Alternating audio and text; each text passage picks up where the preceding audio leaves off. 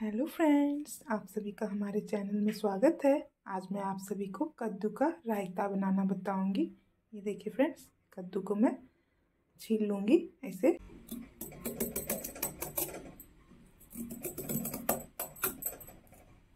अच्छे से पूरा छील लेना है हमें कद्दू को।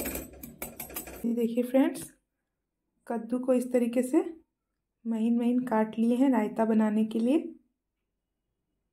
इसे हम बॉईल करना है। और ये हरा मिर्च और ये आदि इसमें डाल देना है बॉईल करना है।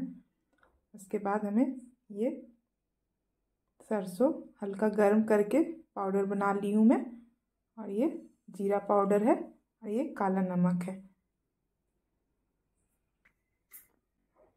ये दही है, इसमें हमें मिलाना है।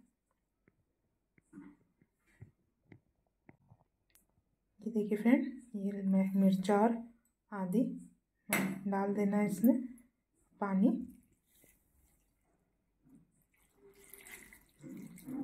इसे हमें बॉईल करना है। ये देखिए फ्रेंड्स इसे अच्छे से हमें बॉईल कर लेना है। गैस को अंदर गर्म करके ढक कर।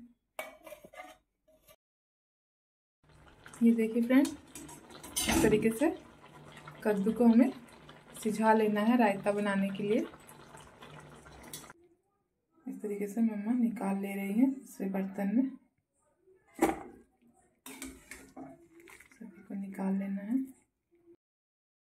ये देखिए फ्रेंड्स, ये कद्दू में जो सिंचाई थी, ये ठंडा हो गया है। इसमें हमें मसाले को डालना है। ये भुना हुआ सरसों पाउडर है ये। ये भुना हुआ जीरा पाउडर, ये काला नमक हमें इसमें स्वाद अनुसार डालना है।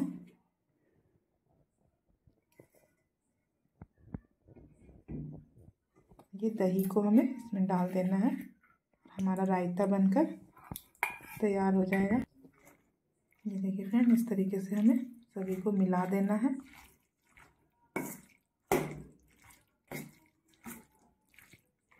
बहुत ही टेस्टी लगता है ये कद्दू का रायता। इस तरीके से बनाने पे आप लोग भी इस तरीके से बनाएँ। ये देखिए फ्रेंड अच्छे से मैं दही को सभी मसाले को मिला दी हूँ।